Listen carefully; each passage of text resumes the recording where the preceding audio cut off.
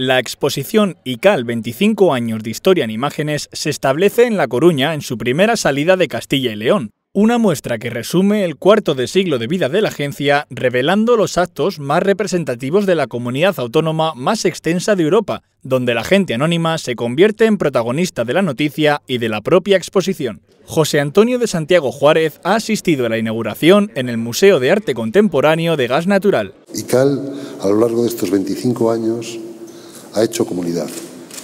Nos ha enseñado a, querer más a Castillón. Nos ha enseñado a todos a construir mejor Castillón. Una agencia que ha conseguido construir región desde la noticia, pero también desde la imagen, y estas 32 fotografías son la perfecta representación de ello.